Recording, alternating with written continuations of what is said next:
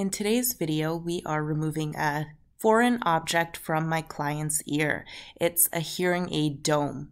So this client came to me from another clinic where she had been putting the wrong size dome at the end of her hearing aid, which resulted in it getting stuck in her ear.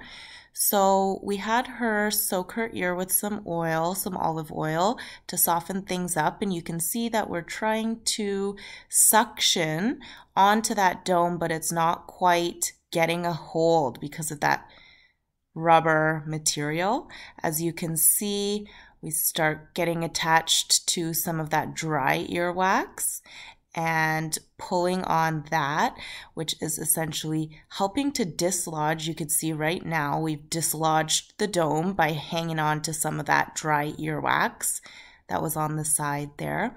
We're doing an up and down motion, trying to wiggle the dome out, but it is quite, it's not a very good material to suction onto.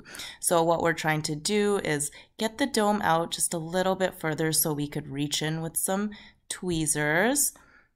So you can see we moved the dome enough to expose the bottom portion of it, which we're going to try. There we go. So we were able to move the dome around, orient it in a way to expose the lip and try to get some forceps in there.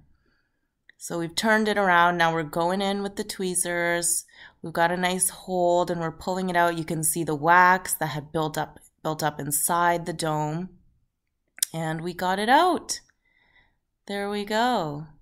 So there was still some earwax stuck in behind the dome. So we're going in with the suction to clear that up.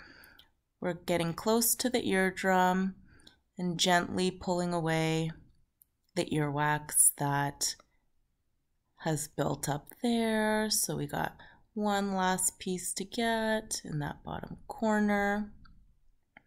We'll go in one more time on the bottom there. And there we go. There's her eardrum. And that's the dome, a one centimeter vented dome glad we got that out for her. She was very happy.